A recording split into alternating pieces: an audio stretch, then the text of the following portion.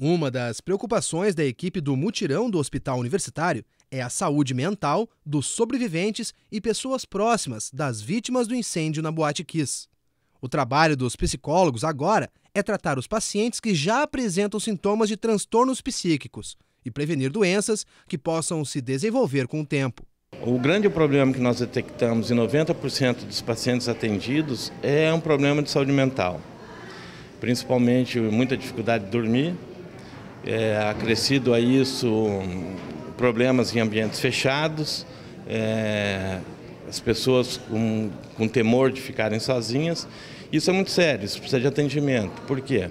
Da forma que ela pode passar pelo tempo, ela pode se desenvolver também com uma situação de síndrome. Existe a possibilidade do desenvolvimento de diversos transtornos a longo prazo.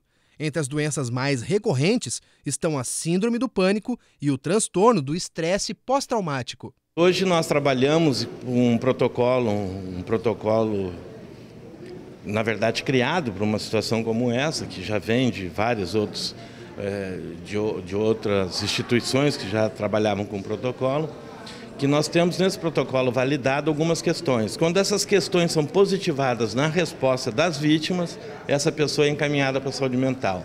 E essas respostas são quais? A dificuldade de dormir, medo do escuro, sentimento de culpa é muito grande. O apoio psicológico é oferecido por diversas instituições. Além do USME, há tratamento nos Centros de Atenção Psicossocial, os CAPs, e também no Centro de Acolhimento criado pela universidade.